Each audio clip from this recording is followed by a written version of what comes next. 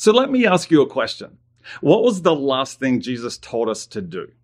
G'day everyone. My name is Dave Adamson, author of the new book, Meta Church. And today's verse of the day comes from Mark chapter 16, verse 15, which says, He, Jesus, said to them, Go into all the world and preach the gospel to all creation.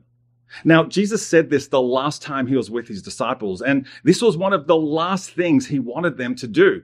And his message was pretty clear. He said everyone who follows him needs to go into all the world and share their faith. Now, it's important for you to know the Hebrew and Greek words we translate as go throughout the entire Bible mean to go. I mean, I've done a long and exhaustive study of the Greek and Hebrew, and the words we translate as go in the Bible mean simply to go. Nothing more, nothing less. And go implies intentionality. It implies a strategy of deliberately going out into the world to share your faith with the people you interact with.